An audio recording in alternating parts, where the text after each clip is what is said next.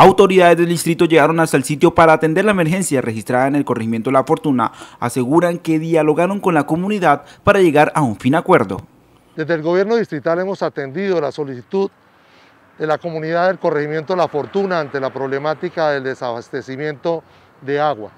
Para esto nos hemos desplazado una comisión integrada por Aguas de Barranca Bermeja, Secretaría de Infraestructura, Secretaría de Agricultura, Gestión del Riesgo, de la mano de la Policía Nacional, Ejército Nacional y una comisión de Acuafortuna al sitio a hacer la verificación en terreno de cuáles son los hechos que hoy están afectando la prestación de este servicio. En estos momentos van camino a la bocatoma para poder establecer cuál es la real situación de la afectación en el suministro del acueducto y del agua potable en este importante corregimiento.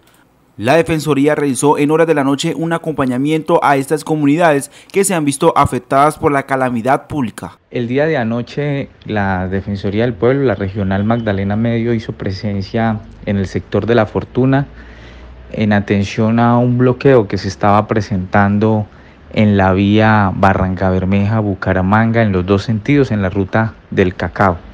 Eh, la comunidad como tal manifiesta su incomodidad eh, en relación con eh, la prestación del servicio de agua potable en este sector de la fortuna. Manifiestan que llevan más de 20 días eh, sin el suministro de agua y en atención a esa situación pues salieron a la vía nacional a bloquearla.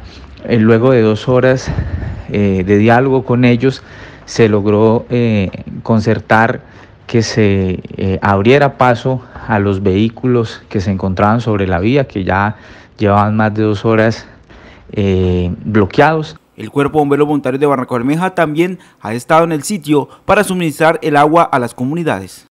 Bueno, el Cuerpo Bombero Voluntario de Barranca Bermeja el día sábado apoyó a los hermanos de la Fortuna con seis viajes de agua para un total de 19 mil galones. El día de ayer se llevaron cinco viajes para un total de 16.500 galones de agua. Hoy estamos repartiendo agua también en el sector del corregimiento La Fortuna. Eh, la administración está eh, en una mesa de diálogo con los habitantes del sector, pero el cuerpo de bomberos, desde el momento en que la misma administración nos solicitó el apoyo para los hermanos de, de este corregimiento, inmediatamente dispusimos nuestro personal y la maquinaria para poder mitigar esta falta del preciado líquido en este sector. Hasta este sector llegó el equipo de gestión y riesgo para realizar una inspección del lugar en la afectación de la tubería de agua.